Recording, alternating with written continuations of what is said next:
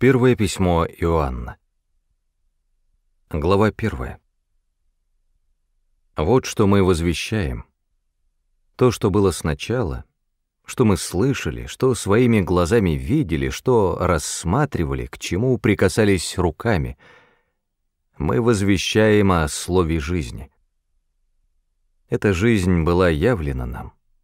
Мы ее видели, мы свидетели жизни вечной — той, что была с Отцом, что была явлена нам. То, что видели мы и слышали, мы и вам возвещаем, чтобы были и вы сопричастны нам. А мы сопричастны Отцу и Сыну Его, Иисусу Христу. И об этом мы пишем, чтобы нас наполнила радость. Вот та весть, что мы от Него услышали и вам возвещаем. Бог есть свет, и нет в нем тьмы никакой. Если скажем, мы сопричастны ему, но живем, как и прежде, во тьме, значит, мы лжем и живем не по правде. Но если живем мы во свете, как и сам он во свете, значит, мы сопричастны друг другу, и кровь Сына Его Иисуса очищает нас от любого греха. Если скажем, что мы безгрешны, значит, мы вводим себя в заблуждение, и истины нет в нас.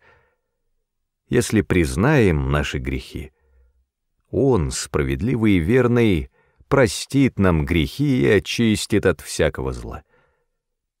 Если скажем, мы не грешили, значит, Его выставляем лжецом, и нет в нас слова Его. Глава вторая. Детки, я пишу это вам, чтобы вы не грешили. Если же кто согрешит, у нас есть перед Отцом заступник, Иисус Христос, Он праведен. И Он сам — искупительная жертва за наши грехи, и не только за наши, но и за грехи всего мира. А вот как мы можем узнать, знаем ли мы Его. Мы знаем Его — если исполняем Его заповеди. Кто говорит «я знаю Его», но не исполняет Его заповедей, тот лжец, в нем нет истины. А кто исполняет Слово Его, в том Божья любовь воистину достигла совершенства. Так мы можем узнать, в нем ли мы. Кто говорит, что он в нем, тот должен и жить так, как жил он. Любимые мои, то, что я пишу, это не новая заповедь. Нет, это старая заповедь, она известна вам изначально. Та старая заповедь — весть, которую вы услышали. Впрочем, то, что я пишу, это и новая заповедь, потому что ее истинность явилась в нем и в вас. Тьма уходит, и уже светит истинный свет. Кто говорит, что он во свете, но ненавидит своего брата, тот во тьме до сих пор.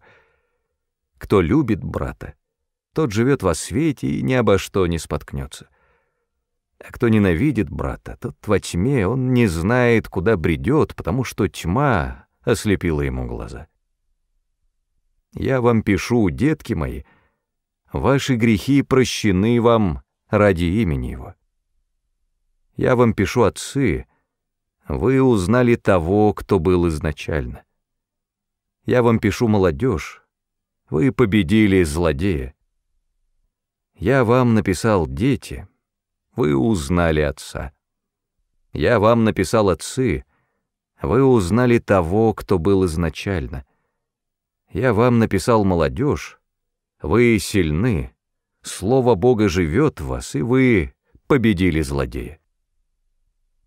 Не любите мира, ни того, что в мире. Если кто любит мир, в том нет любви Отца. Потому что все, что в мире, то, чего жаждет плотская природа, что вожделенно для глаз и чем бахвалится богатство, не от Отца, но от мира. А мир проходит вместе с тем, что в нем вожделенно. Тот же, кто исполняет волю Отца, живет вовеки. Дети — Настал последний час. Вы слышали, что должен прийти Антихрист. Так вот теперь уже появилось много антихристов, из чего мы узнаем, что это последний час. Они покинули нас, но это не значит, что они были наши. Ведь если бы они были наши, то и оставались бы с нами. Но то, что они нас покинули, доказывает, что все они не наши. А на вас помазание святого, и значит, все вы обладаете знанием. Я не писал вам, что вы не знаете истины. Нет, я писал, что вы ее знаете, и что нет такой лжи, у которой было бы нечто общее с истиной. Так кто же такой лжец? Это тот, кто отрицает, что Иисус — это Христос, помазанник. Таков антихрист. Он отрицает Отца и Сына.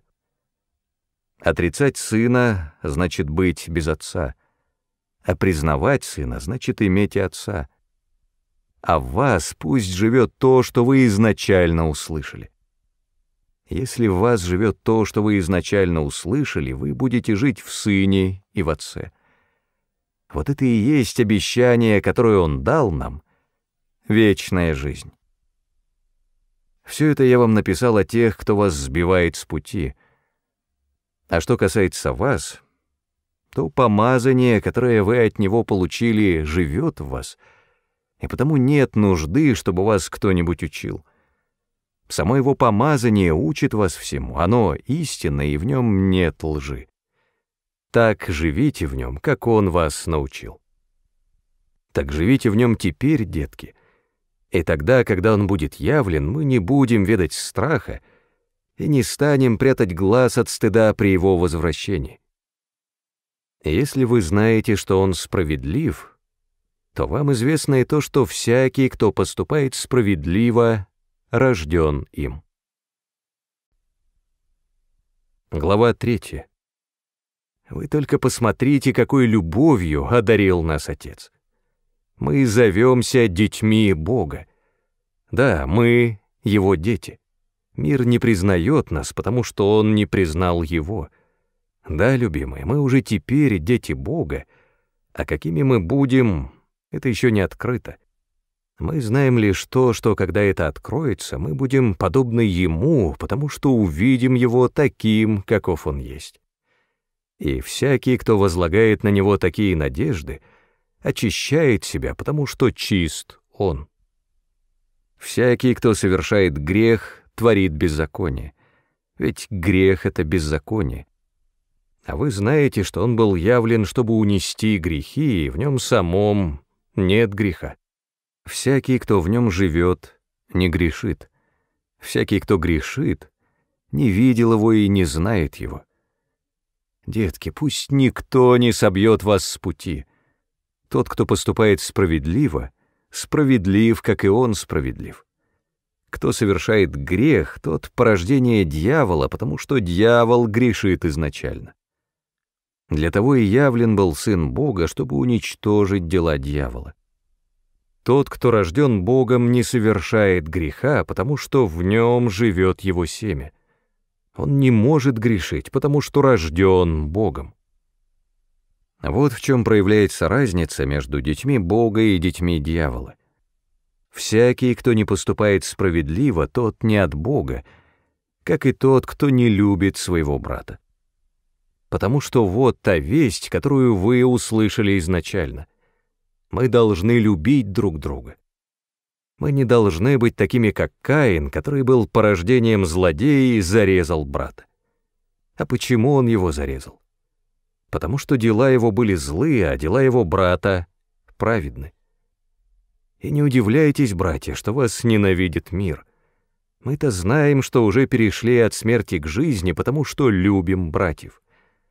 Тот, кто не любит, остается во власти смерти. Всякий, кто ненавидит брата, — убийца. А вы знаете, что у убийцы нет вечной жизни, она не живет в нем. Вот как мы можем узнать, что такое любовь. Он отдал за нас свою жизнь. Так и мы должны отдавать за братьев свою жизнь, а в том, который в этом мире живет в достатке, видит брата в нужде, но запирает сердце для жалости, разве в нем может жить Божья любовь?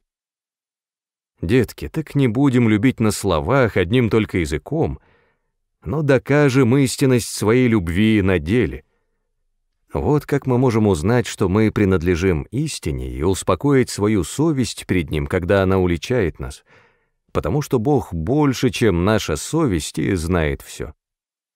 Любимые, если совесть нас не обличает, мы не видаем страха перед лицом Божьим и получаем от Него все, о чем не попросим, потому что мы исполняем Его заповеди и делаем то, что Ему приятно. И вот Его заповедь верить в Сына Его Иисуса Христа и любить друг друга, как Он повелел нам. Те, кто исполняет Его заповеди, живут в Нем, а Он в них. Живет ли Он в нас? Мы можем узнать по духу, которого Он дал нам. Глава 4.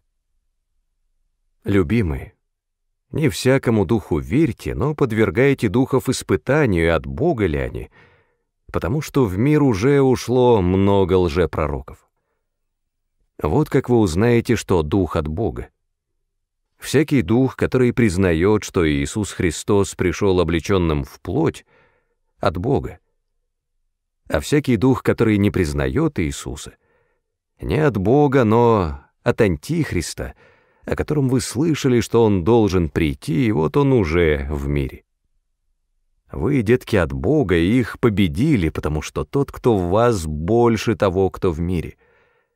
Они от мира, и потому говорят на языке, на котором говорит мир, и мир их слушает. Мы же от Бога.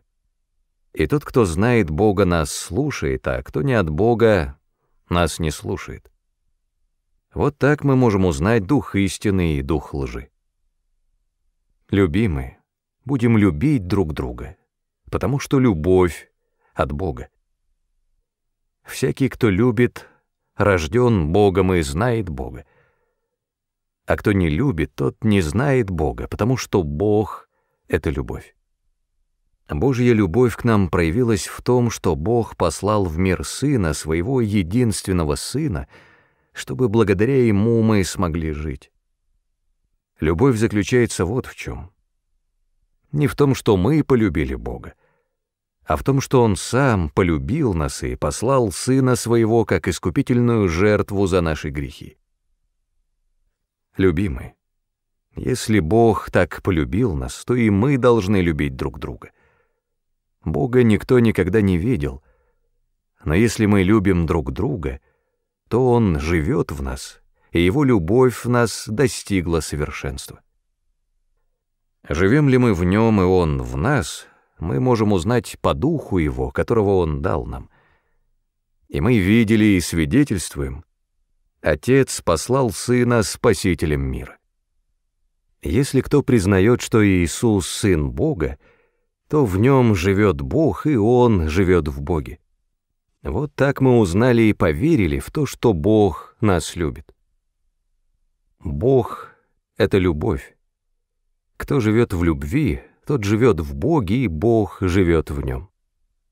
Любовь достигла среди нас совершенства, так что мы смело встретим день суда, потому что мы в этом мире таковы, каков Он. В любви нет страха. Совершенная любовь изгоняет страх потому что страх связан с наказанием, и тот, кто боится, не достиг совершенства в любви. Мы любим, потому что Он первым полюбил нас.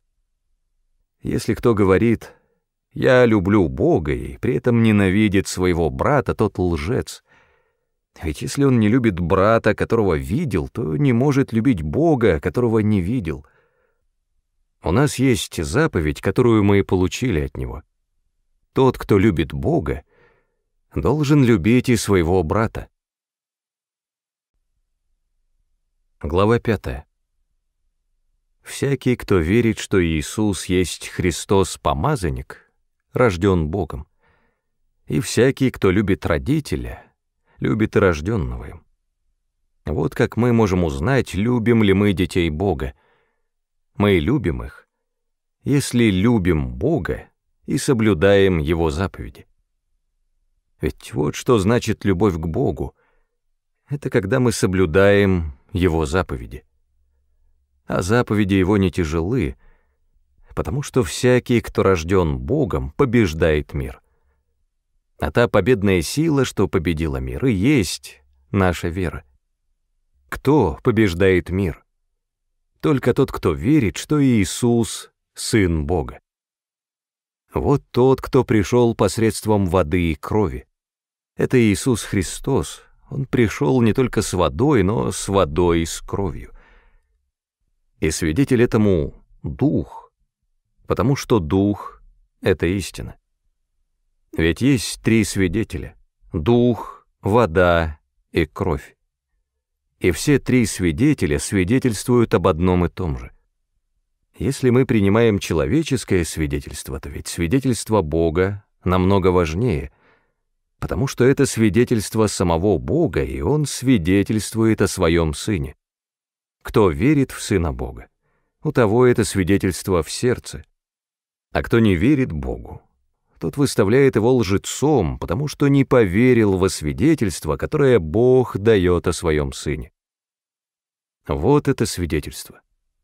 Бог дал нам вечную жизнь, и это жизнь в Его Сыне. У кого есть Сын, у того есть жизнь. У кого нет Сына Бога, у того нет жизни. Я это написал вам, верящим в Сына Божьего, для того, чтобы вы знали, у вас есть вечная жизнь. Вот почему у нас такая смелость перед лицом Бога. Если мы просим о чем-либо, что согласно с Его волей, Он нас слышит. А если мы знаем, что Он нас слышит, если мы о чем-нибудь просим, то знаем, что то, что мы у Него просили, уже наше. Если кто увидит, что брат совершает грех, но грех, не ведущий к смерти, пусть помолится и даст ему жизнь. Это касается тех, чей грех не ведет к смерти. А есть грех, ведущий к смерти. Я не говорю, что надо молиться о таком грехе. Всякое дурное дело — грех, но есть грех, не ведущий к смерти. Мы знаем, что всякий, кто рожден Богом, не грешит, потому что рожденный Богом оберегает его, и злодей не может наложить на него руку. Мы знаем, что мы от Бога, но весь мир — от власти злодея. Мы знаем, что Сын Бога пришел и дал нам способность понимания, чтобы мы могли познать того, кто истинен. И мы живем в том, кто истинен, в Сыне Его Иисусе Христе. Он есть истинный Бог и вечная жизнь. Детки, берегите себя от идолов. Конец первого письма Иоанна.